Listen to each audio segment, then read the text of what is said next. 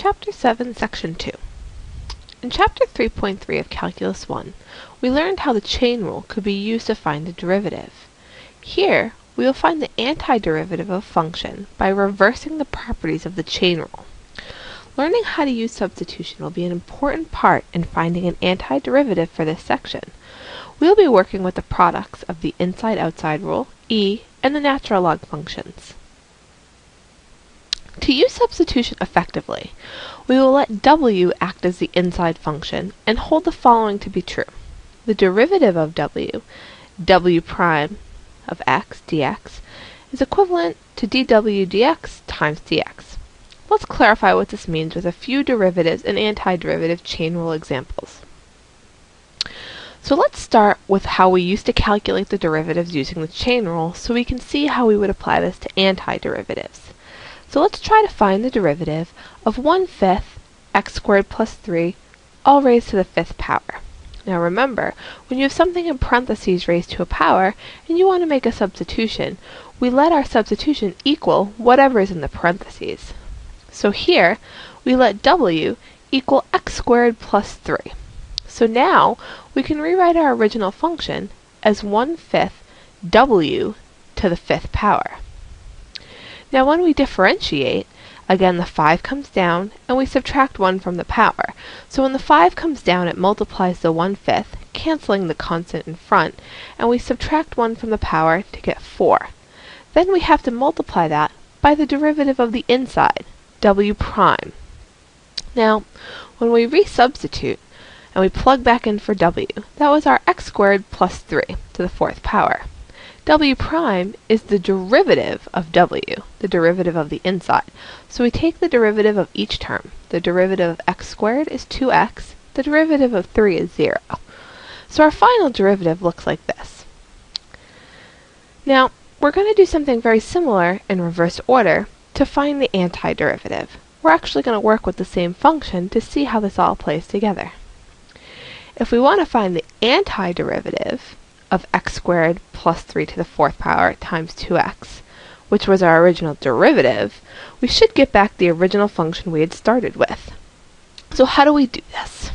Okay, so like before, we want to substitute. The goal is going to be to identify the inside function that has a derivative as a factor and set it equal to w.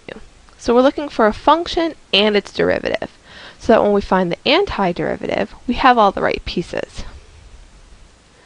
So here, we're going to let w be our x squared plus 3.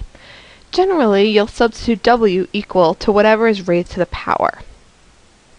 So then our dw, or our derivative, is going to be 2x dx, because again the 3 disappears because it's a constant. So now we have our w and our dw, and let's see how we set this up. So we want to find the antiderivative, so we write this as the integral of x squared plus 3 to the fourth times 2x dx. And now with our substitution, we put a w in for x squared plus 3. That was our original substitution. And then instead of 2x dx, which was our derivative, we know that's equivalent to dw. So the 2x dx is gone and dw is in. So now we have the integral of w to the fourth dw. This is very convenient because we know how to integrate this. This is of the same form as x to the n. So when we integrate, we're going to be adding 1 to the power and dividing by the new power. So here, when we add 1 to the power, it becomes w to the fifth, divide by the new power, over 5. Now we want to substitute back in for w. So we get 1 fifth, and now our w originally substitutes for x squared plus 3 to the fifth power. And then, we always have to remember when we find an antiderivative to add plus c. So now we have the antiderivative of x squared plus 3 to the fourth times 2x.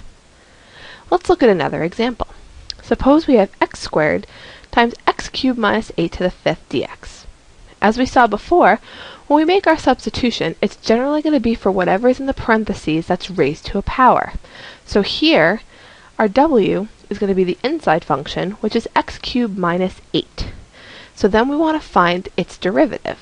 So the derivative of x cubed minus 8 is going to be 3x squared. Again, the 8 cancels because it's a constant, and when we take the derivative, that's just 0.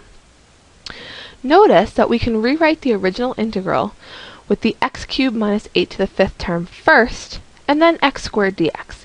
That's going to help us see how we need to make our substitution.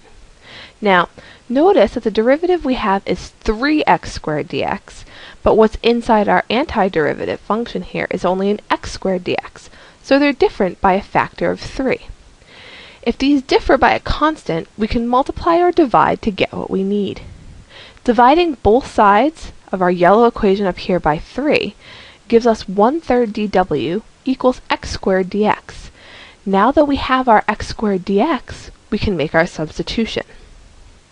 So we want to substitute, find the antiderivative, and then resubstitute. Those are our steps now that we've defined our substitution. So we start with x squared times x cubed minus 8 to the fifth dx. That's our original function.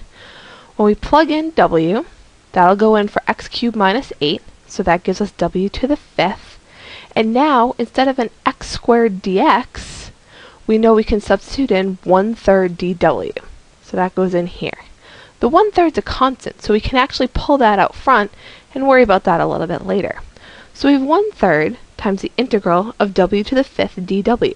So again, we're going to add 1 to the power to become w to the sixth and divide by the new power.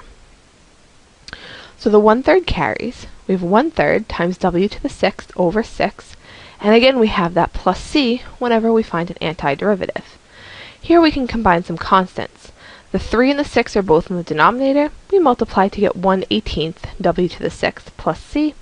And then our last step is to resubstitute back in what w is. So again, w was x cubed minus 8 to the 6th. So our final answer, after all our work for our antiderivative, is 1 18th x cubed minus 8 to the 6th plus c. Now, there's a similar situation that happens when we're working with e. Using the chain rule, we use to find derivatives of e by looking at the original function and the derivative of the power of e. So we know from the chain rule that if you start with e to the x squared, the derivative is 2x e to the x squared. Because again, when you take the derivative, you get the same thing back with a multiplier in front, which is the derivative of the power. Now, from what we know about antiderivatives, that means if we take the antiderivative of 2x e to the x squared, we should get back the original function of e to the x squared. Of course, plus a constant. So how do we find the antiderivative? How do we do this with substitution? Okay, so to find the antiderivative, again we need to find the inside function whose derivative appears as a factor and substitute it with w. So when you have terms with e in them, your substitution will be that w will equal whatever that power of e is, which here is x squared. So we let w equal x squared. Then the derivative of w will be 2x dx. So now here, we know that dw is 2x dx, which is very fortunate since it's part of our original integral. So again, we want to substitute find the antiderivative, and resubstitute to solve.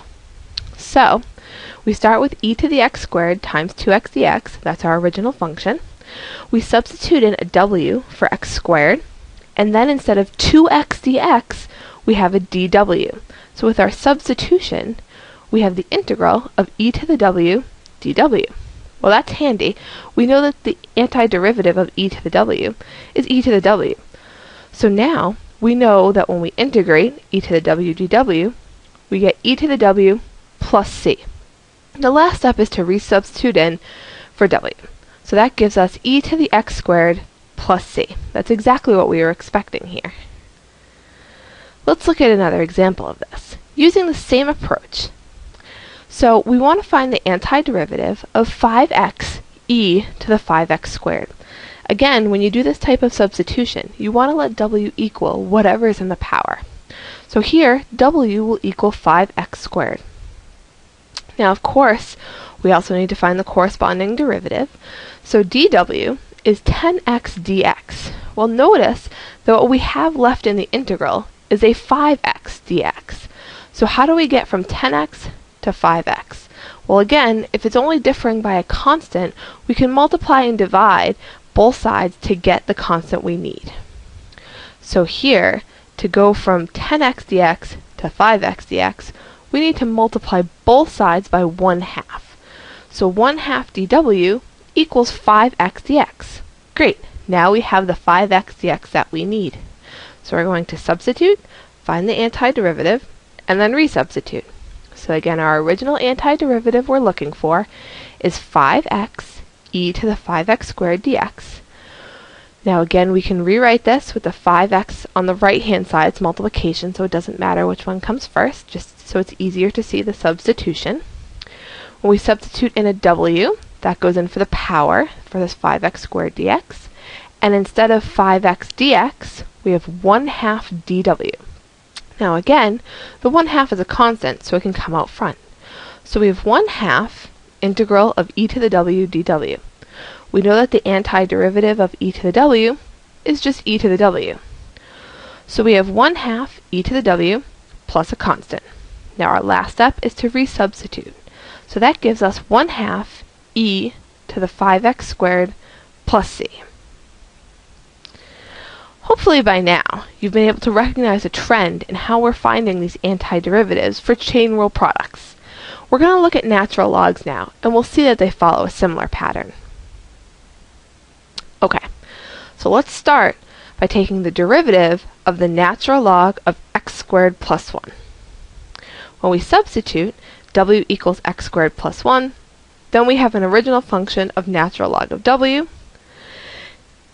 And when we differentiate, we get 1 over w times w prime. So it's 1 over w times the derivative of the inside, which here is 1 over x squared plus 1 times 2x or 2x over x squared plus 1. And again, if you remember the shortcut with natural logs, when we take the derivative, whatever is in the argument goes on the bottom of a fraction, and whatever the derivative of the bottom is goes on top. So that's how we differentiated. And that also means that if we now want to find the antiderivative of 2x over x squared plus 1, we should get the original function back. So we're going to work in the other direction to find the antiderivative. So we know the following. 1 over x squared plus 1 times 2x dx should have an antiderivative of natural log of x squared plus 1. So if we want to find the antiderivative of this function using substitution, we'll start again by finding the inside function. So here, we're going to be substituting w for what's in the bottom of the denominator. So here, w equals x squared plus 1. So then the derivative of x squared plus 1 is 2x dx which fortunately is something we also have in our integral. So now we want to substitute, find an antiderivative, and resubstitute. So we started with the integral of 1 over x squared plus 1 times 2x dx. Now, our substitution says that w equals x squared plus 1, so that's what's in the bottom of this fraction, times, now instead of 2x dx, we're going to be able to put in our dw. So we have the integral of 1 over w dw. If you remember back to our basic antiderivatives, the antiderivative of 1 over w is natural log of w. So we get the natural log of w plus c. So now the last step is to resubstitute in for w, which gives us the natural log of x squared plus 1 plus a constant. That's exactly what we expected. Let's do another example. Find the antiderivative of x cubed over x to the fourth minus 2. So again, what we want to start with here is a w substitution where w is going to equal the denominator of our fraction. So the inside function is going to be our x to the fourth minus 2. Then our dw is 4x cubed dx. Again, we want to look at what we have. Here we have an x cubed dx, and here our derivative was 4x cubed dx. So to get just an x cubed dx, we're going to need to divide both sides by 4. So 1 fourth dw equals x cubed dx. x cubed dx is what we have, so now we can substitute, find our antiderivative, and resubstitute. So we start with our original antiderivative that we're looking for. Again, we can write this as 1 over x to the fourth minus 2 times x cubed dx, you don't have to do this, but it's just a way to see the substitution better. Now, instead of x to the fourth minus 2, we substitute in our w, And instead of an x cubed dx, we substitute in a 1 fourth dw. Again, the 1 fourth can come out because it's a constant. So we have 1 fourth times the integral of 1 over w dw.